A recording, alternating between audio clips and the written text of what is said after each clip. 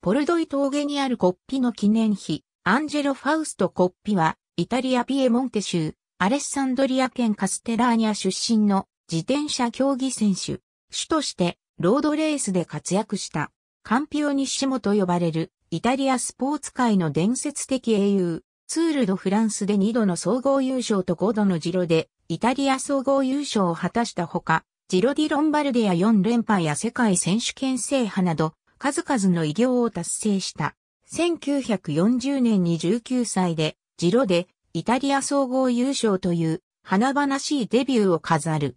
1942年にはアワーレコードに挑戦し、時速 45.798km で14年ぶりに世界記録を更新した。この記録は1956年にジャック・アンクティルにより更新されるまで14年間保持された。しかしこれ以後、第二次世界大戦の激化により自転車選手としての活動は中断を余儀なくされた。1946年から活動を再開し、クラシックのミラノ・サンレモ、ジロデ・ロンバルディアを制覇。ジロでイタリアでもステージ3勝を挙げた。翌1947年には、ジロディ、ロンバルディア連覇と2度目のジロで、イタリア総合優勝。1948年は、ミラノ・サンレモとジロディ・ロンバルディアで勝利。ジロでイタリアでは2勝を挙げ、山岳賞を獲得した。1949年はツール・ド・フランスとジロで、イタリアで総合優勝。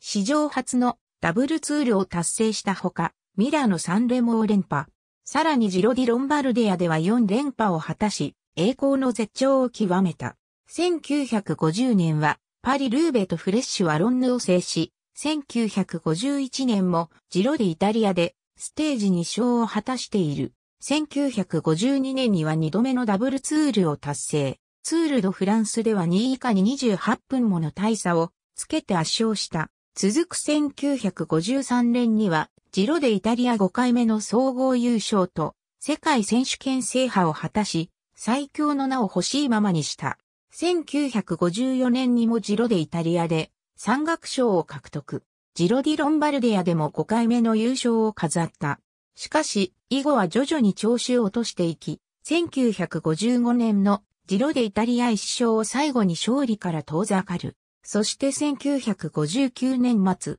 コッピはサイクリングとハンティングを楽しむために、アフリカのオートボルタに滞在中マラリアに感染し、帰国後に発症。診療ミスによりトルトーナの病院で死去した。1940年ジロ・デ・イタリア1946年、ミラノサンレモ、ジロ・ディ・ロンバルディア、グランプリ・デ・ナシオン、ジロ・デ・イタリア1947年、ジロ・デ・イタリア、ジロ・ディ・ロンバルディア、グランプリ・デ・ナシオン1948年、ミラノサンレモ、ジロ・ディ・ロンバルディア、ジロ・デ・イタリア1949年ツール・ド・フランス、ジロ・デ・イタリア、ミラノサンレモ、ジロ・ディ・ロンバルディア1950年、パリ・ルーベフレッシュはロンヌ1951年ツール、ド・フランスジロでイタリア1952年ツールド、フランスジロでイタリア1953年世界選手権、優勝ジロでイタリア1954年ジロで、イタリアジロでロンバルデア1955年ジロで、イタリア自転車競技選手のドーピング事例によると、